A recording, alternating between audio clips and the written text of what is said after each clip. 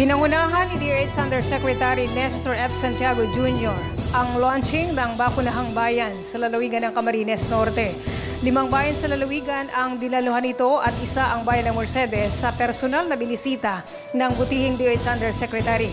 Kasama sa mga dumalo si Dr. Ernie Vera, DOH Bicol Regional Director at ilang staff nito. Ganon din si Dr. Joy Iraola, DOH Provincial Officer at Dr. Arnel Francisco, Provincial Health Officer.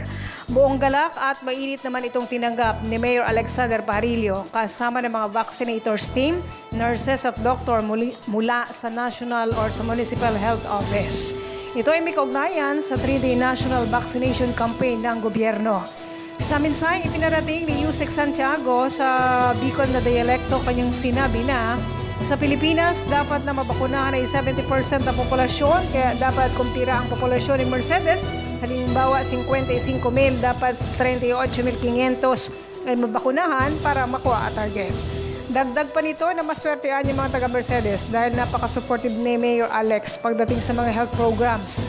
Patunayaan niya nito ang suportang ibinigay ng buting alkalde sa rollout ng Pinala- Pinas Lakas upang manguna ang bayan ng Mercedes sa may pinakamataas na porsyento ng bilang ng nabakunahan na.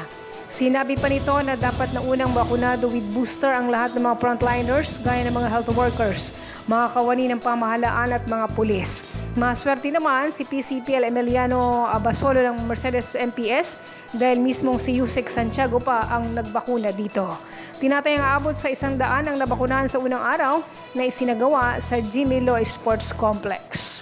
Mula sa lalawigan ng Camarines Norte, ako si Juby Magubat para sa Radyo Agila, matatag, matapang, matapat.